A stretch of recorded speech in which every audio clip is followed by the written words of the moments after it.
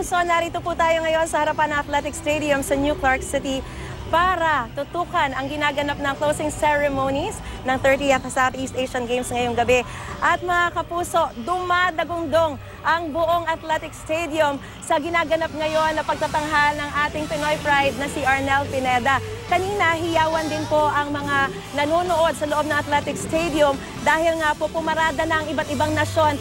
Pinaka hiniyawan at ah, talagang nagsigawan para sa atletang mga Pilipino, para sa ating mga atleta, no, mga kapuso.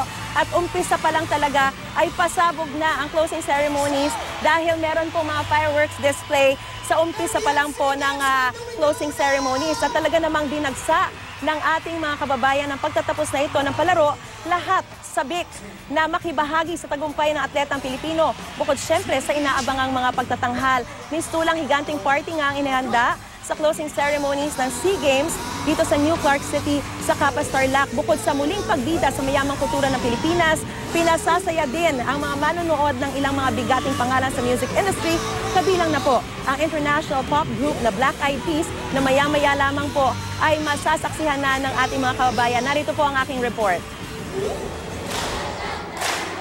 Ang pagtatanghal ng mga Aita Festival dancers ng Porac, Pampanga ang bumungad sa closing ceremonies ng 30th SEA Games. Ibinida nila ang mayamang kultura ng mga Aita.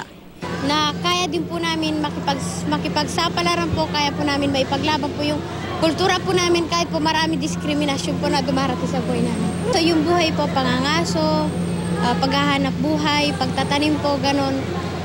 Saka po yung mga dumarating po na problema, nilalabanan po namin lahat na yun. Mga sakuna po.